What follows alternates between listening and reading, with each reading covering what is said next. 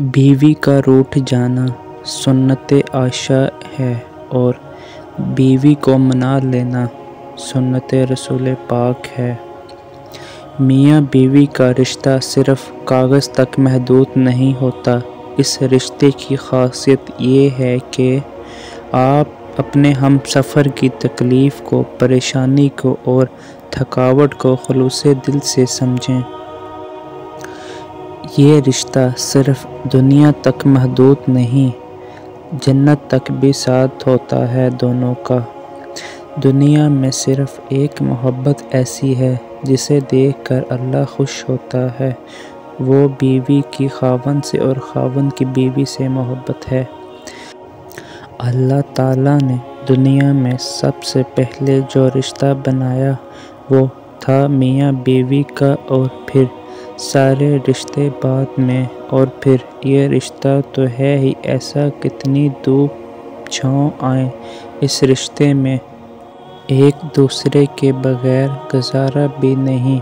अल्लाह ताला तमाम जो जैन में प्यार, मोहब्बत बढ़ाए रखे और घरों में खैर बरकत रखे। आमीन।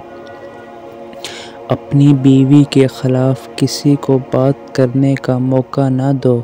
क्योंकि बावकार शख्स अपनी बीवी के वक़ार और इज़्ज़त नफ्स का ख़याल ख़ुद रखता है।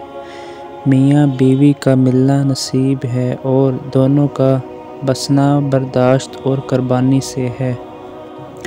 दोनों में अकेला जितनी बड़ी कुर्बानी दे और जितना मर्ज़ी बर्दाश्त कर ले, घर नहीं चल सकता।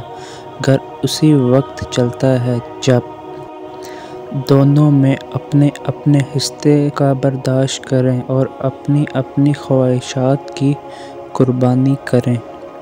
बीवी अपने शोहर के मामले में बहुत हसास होती है। अपने खावन की ज़रा ज़रा सी बात तवज्जो पाकर खुश हो जाती है।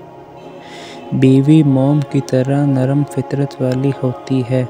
जिस सांचे में डालना चाहोगे, डल जाएगी। जब शोहर अपनी बीवी को हकीकी मोहब्बत देता है तो बीवी अपने वालदेन से भी बड़ा दर्जा शोहर को दे देती है। नयाब होते हैं वो, जिनके करदार की खुशबू पाकर औरत ख़ुद मोहब्बत का इजहार करती है।